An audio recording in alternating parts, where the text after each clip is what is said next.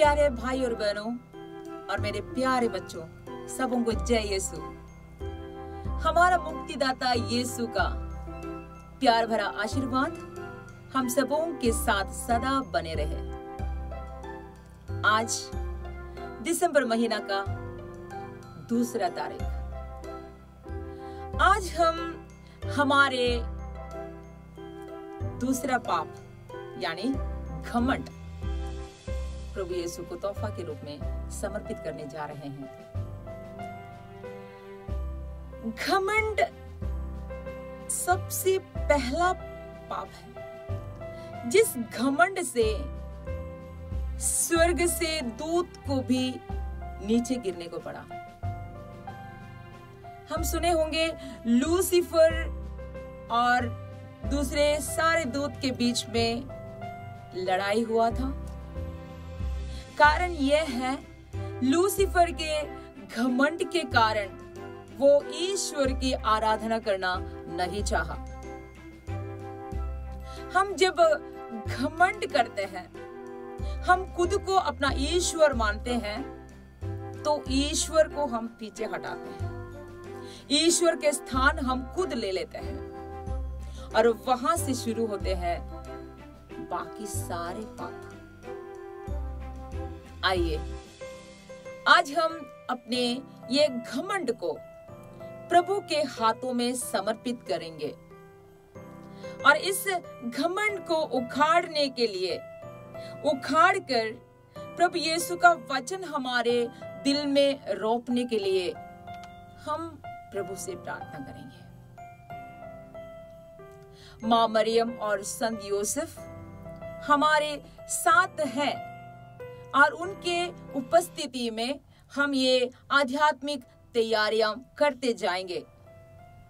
और उसके लिए हमारे हृदय में एक वचन रोपने के लिए आज का वचन यह है। संत याकूब का पत्र से अध्याय चार, वचन संख्या छ। वचन यह है, ईश्वर घमंडियों का विरोध करता है, किंतु विनीतों को अनुग्रह प्रदान करता है।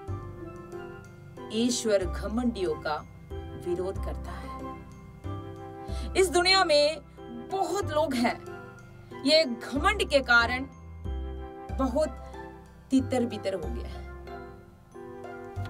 उनका जीवन बहुत अच्छा शुरू होता है, लेकिन धीरे धीरे ये घमंड, ये पाप हमारे अंदर ग्रसित हो जाते हैं और हम चौपट हो जाते हैं।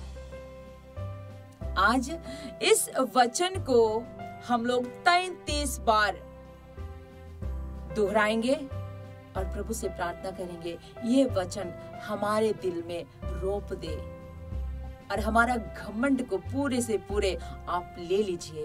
एक तोहफा के रूप में मैं आपको देती हूँ, देता हूँ। और यस याद करना, हम लोग जैसे पाप को समर्पित करते हैं उसके बाद माँ मरियम और संत यूसुफ के साथ हम लोग तीन प्रणाम मरिया प्रार्थना करेंगे और ये वचन को तैतीस बार हम लोग दोहराएँगे। विश्वास पूर्वक ये बातें, ये प्रार्थना हम लोग करना है, वचन को दोहराना है।